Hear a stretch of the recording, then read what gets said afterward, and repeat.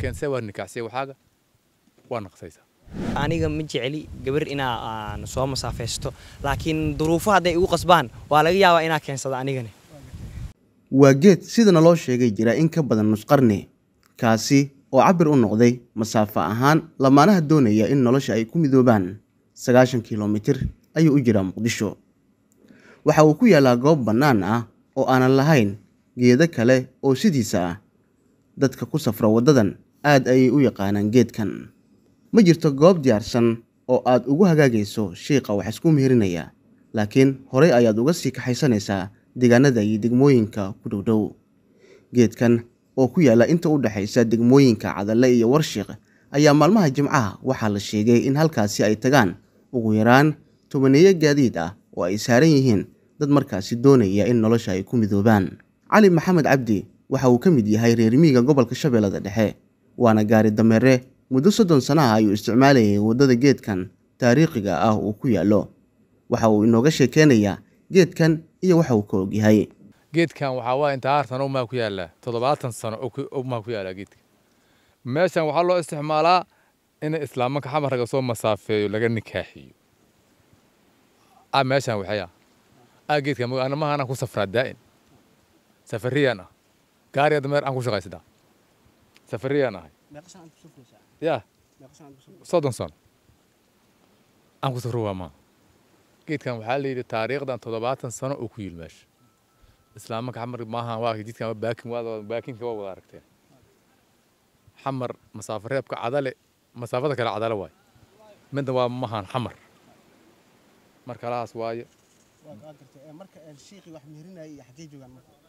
mahani joogaan burkan xabadkiisa joogaan ay joogaan waa wax maraay aa laga helaa burkan dugsi ku yaala dooxiisa dugsi ku yaala amba amba waxaa kasoo waday warshiq waa keensay waa nikaxsay waxaaga waa naqsaysaa waa kula kulma anaa kuwa timi aan kula kulmay anoo xamar u jeedo xamarka xagga u jeedo afkooy u jeedo hooyaday oo jirta u jeedaan meeshaan baawur ka raaca waa lagu nikaxsh wadatiin waa lagu nikax jimcadii oo kale toman waa imaaya toman baabuur dhalinyaro iyo dad waaweyn miyo waa isku dhexdar waay. Cali yuusuf cali oo wiil dhallinyaro ah dhagaha un ayuu ka maqli jiray magaca geedkan laakiin waa markii ugu horreysay uu indhihiisa ku arko. Waxa uu aaminsan yahay in la ismasaafaysto ay keeni karto daruufo gaar ah oo markaasi ku xeeran lamaanaha doonaya in nolosha ay ku midoobaan. Geedkan marar badanaa rag saaxiibaday ah ka maqlay qaarkood xataa gabdho ay keensadeen oo meeshaan ku mehersadeen. Ani laakiin waa markii ugu horreysay geedkan arko maanta anoo safar ah ku soo leexday. Geedkan in gabdhaha xamar lagala soo dhuuntoo kale oo masaafada si qarsoodi loo mehersanaya in meeshaan la keeno lagu meheriyo war ahaan igu soo gaartay. Geed masaafaa loo yaqaana waa geed caana dadka dhan ay yaqaaniin. Horta aniga ma jeceli gabar inaa aan soo masaafaysto laakiin duruufo hadday igu qasbaan waa laga yaabaa inaa keensado anigani meeshaan dadka jeebkooda aan burnayn waa meesha isku xaliyaan oo waxaa geed wanaagsan inuu yahay ka aaminsana aniga. Qoysas badanaa ku dhismeen oo hadda oo ilmo hooyooyinkooda inta lagu meheriyey hadda inay jiraana macquule waana jiri karaan oo dad dumar badanaa geedkan lagu meheriyey. Aniga waxaa is leeyahay marar qaarkood inay keeni karto ninkii oo lacag badan aa haysanin familkii gabadhan ay ku adkeeyeen dad qaarkoodna qayaanay ka wadaan gabdhaha inay ku lugooyaan oo ku qayaanaan gabdhaha intuu keensadaan. Dadba siya u socdaan dadka isku mid maaha. Dadna in qabiil ahaan gabadhii loogu diido kale ee taas sabab u noqotaa laga yaabaa. Marka dadka isku si ma aha qofba siyaa u sababtay inuu meeshaan gabar keensado. Waxaa halkan lagu meheriyey gabdho aad u fara badan.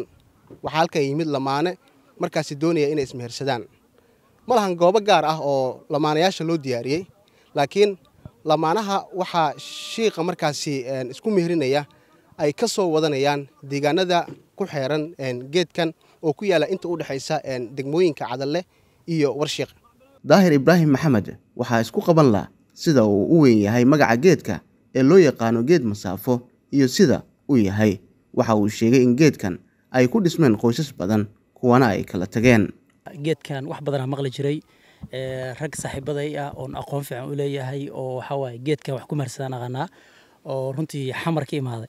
Marka anigaba hadda maanta xamaraan ka imaaday aqoon uma lahayn geedkan waxaan aaday cadale. Hadda marka annagoo safar ka soo laabanaa saas u soo marnay. Runtii marka geedkan ana waxaan ka aaminsanahay horta inuu yahay geed aad u ballaaran oo macnaha waxa waaye oo intaan ka weyn inuu yahay aaminsanaa dadka masaafada macnaha waxa waaye ayagoo daalanaya imaanaya geed lagu harsan kara oo intaan ka ballaaran oo macnaha waxa waaye meel wax lagu mahriyey leh oo xataa shiiqa meel uu fadhiista leh oo dadka xagga markay ka imaadaan runtii meel lagu nasta leh meel lagu nasta leh inuu yahay aaminsanaa laakiin hadda markaa arkay geedkii magaciisa iyo isheeg muuqaalkiisa isma laha. Geedka waxaad moodaa geed aad u yar waaye runtii magaciisana waa caan oo haddaad maqashay isheeg shabeellada dhex waa laga yaqaanaa. Xamarna waa laga yaqaanaaba marka inta badan marka geedkan taariikhu leeyahay saan maqlay malaha waxa waaye waxaas leeyahay waa siddeetamayadii ama in ka badanba. Cabdulqaadir maxamed cumar muxuu ka aaminsan yahay masaafada? Geedkaas waxaan ku maqli jiray in geed masaafo loo yaqaano taas saas darteed dadka dhallinyarada oo maxaan ku rahdaa oo gabdhaha inta soo wataan oo masaafo ahaan sagaashan kilomitr iyo dheeraad ay jirtaaye saas u soo aadaa meesha ka masaafeenaayo aan wax badan maqli jiray laakiin maanta anuu fursad waxaan u haystaa inaan ka jawaabo arrintaas arrintaas arrin oo diiniyan haddii la fiiriyana magiisa xoogaa walbada hataa shaki ay geliyeen oo magiisa shooba geliyeen waaye oo mararka qaarkood haddii hataa la fahmo waalidka magiisa arrintaas in la sameeyo markay dareemaan ay dhihi doonaan magiisa mase hore u dhaheen nikaax ha lagu celi gabadha maadaama saas waxay yeesheen waa idin ogolaa idin siina laakiin gabadha nikaax lagu celiyo okay wixii hadday nadiif yihiin nikaax ma lagu celi in nikaax lagu celiyo waalidka dalbad waxaa keenayay xoogaa macnaha nikaaxaasa xoogaa jaban oo magiisa mid oo ansax inta badan u dhoweyn ah marka saas darteed anuu fursadaan ka faa'iidaysanahay waxaan dhihi lahay war gabadha waalidkeedaa joogo oo soo barbaarshay oo intaasoo sano ku soo dadaalayay si sharaf leh ku weydiiso dadkaaga akhyaarta adeerkaaga aabbaha ehelkaa wado si maxaan ku rahdaa oo diiniyan ku raaso waa lagu soo siinaa waa lagu soo siina. Marka lagu soo siina gur farxad lahaa meesha ka dhalanayay ilmo nadiifa magiisa oo la yaqaan aftigiisa la kasaay adeerkiisa la kasaay ilmo adeertiisa la kasaay meesha ka dhalanaya laakiin gabadhii waa masaafeysay. Maalmaha magiisa xaafadda lasla joogay mise iskool iyo jaamacad waxbaa lasla dhigtaa. Hadhow waxaa soo baxay uraa soo baxay. Dabacaddii iska xumaanaysa saa u malaynaysa waxaa ahaynaa soo baxay.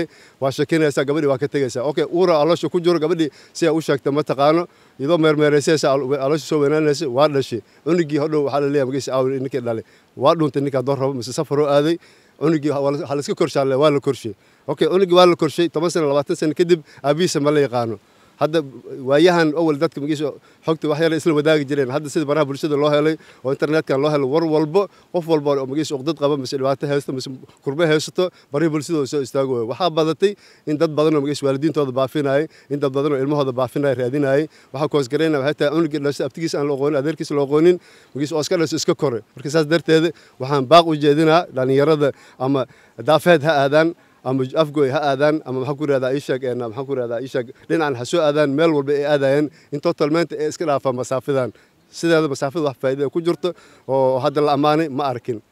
Zakariya axmed muuse tv-ga shabeelle gobolka shabeellaha dhexe